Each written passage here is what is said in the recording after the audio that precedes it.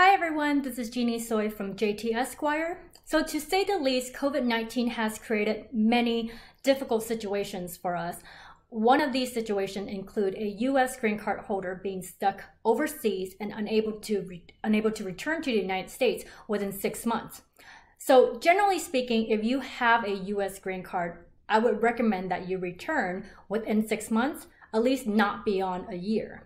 Unfortunately, because of COVID 19, returning has been a lot more difficult, either because of travel restrictions or because of personal problems.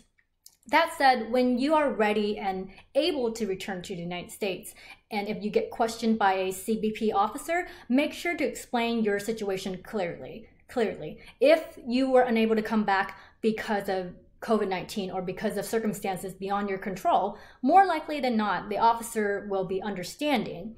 Also, bring with you documents to prove that your home and your aka your residence is remains in the United States. So, for example, carry with you documents um, showing you have family here, you have a job here, you have a home here, etc.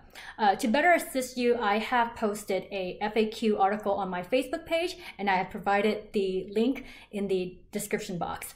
If you have any other question, feel free to contact us. Thank you for watching.